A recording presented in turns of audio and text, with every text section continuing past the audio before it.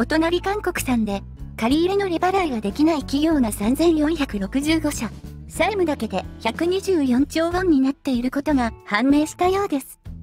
記事とネットの反応を見てみましょう。コロナの影響を受け、営業利益で利払いを賄えない状況から脱却できない限界企業が急増している。韓国銀行によると、昨年の外部会計監査対象企業のうち、限界企業の割合は 15%3465 社で前年に比べ0.5ポイント増えた。2010年の統計開始以降で最高だった。限界企業は3年連続で営業利益が利払い費用を下回った企業を指す。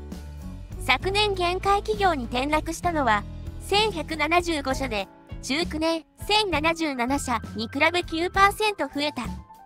そうした企業が借り入れた危険な融資は124兆5000億ウォン、約11兆7000億円で、前年に比べ9兆1000億ウォン増えた。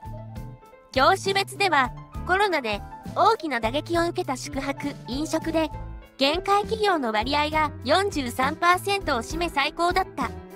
さらに問題なのは、コロナが長期化し、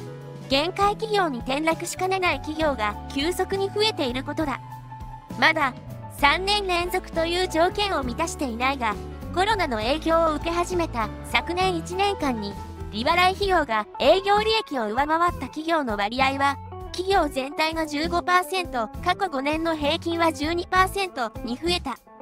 肝銀は、今後ショックが発生した場合、限界企業に転落しかねない企業が過去に比べ多い点に留意しなければならないと警告した。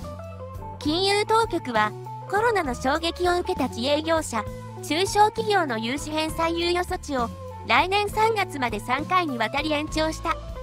当初は6ヶ月の予定だったが、2年まで伸びたことになる。銀行がこれ以上の延長は困難だとする立場を示しており、来年3月に終了する可能性がある。融資返済猶予措置が終了し、同時に官銀が政策金利も引き上げた場合、経営難の中小企業が一斉に融資返済に行き詰まり、金融に衝撃を広げる可能性もある。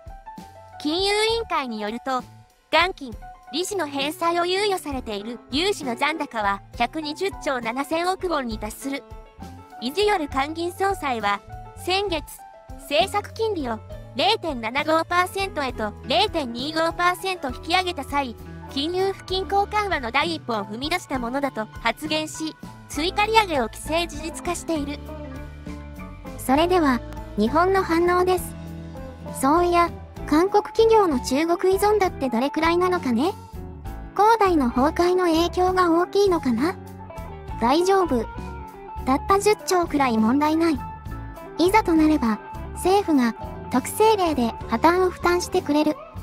もう助けないから自力で頑張ってくださいね。日本超えたなら大丈夫ですよ。大好きなムンジェインさんのために特製霊カードを買ってきたのねん。利払い不能って誰かが資金をつないでやらないと即死じゃん。で、そんな奴に誰が資金をつないでやるの？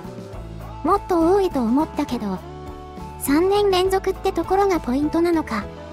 つまり、コロナ前からダメだった企業しかまだ出てきてない。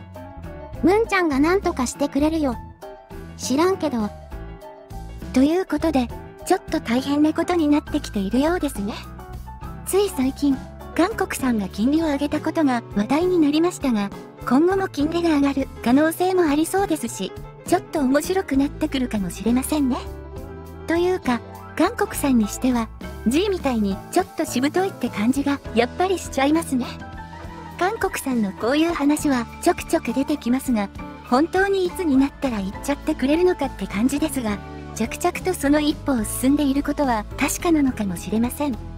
利払い費用が営業利益を上回った企業の割合が15%っていうのは結構な数字ですし、ちょっと微笑ましい数字でもありますよね。韓国さんもう、韓国さんも先進国になったことですし、こういう危機も自力で解決できるように頑張ってくださいね。ということで、ご視聴ありがとうございました。